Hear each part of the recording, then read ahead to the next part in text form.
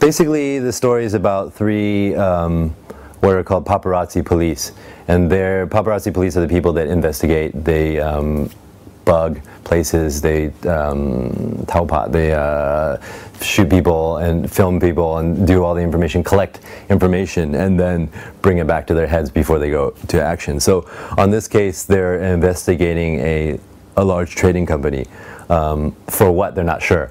And as the case goes on, um, my character and Louis's character, we hear something that we shouldn't hear or that we should hear and report it, but we decide to take that information for our own purposes. And then um, the, the rest of the movie is about how we get into ourselves into big, big trouble, basically.